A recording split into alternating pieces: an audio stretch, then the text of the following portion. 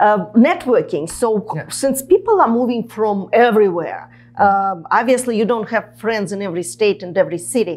How do you network and how everyone find you um and recommend you uh, for for their buyer? Sure. So uh, social media plays a huge part.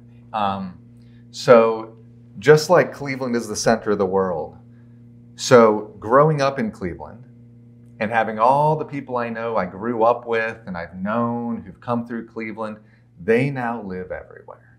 Now you said I don't have friends in every state. That might be true.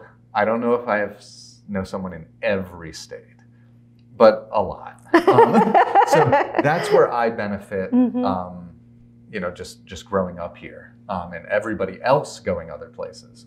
Um, and also, you know, we have the more formal systems in place. Oh, oh, but also on that, staying in touch with all those people on social media that is is key.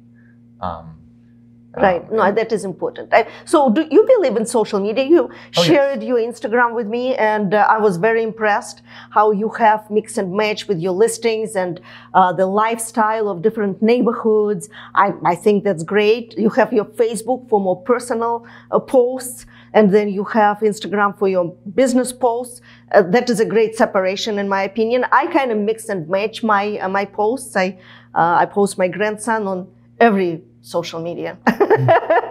but um, yeah, uh, and uh, that was impressive. So you are building your audience, yes.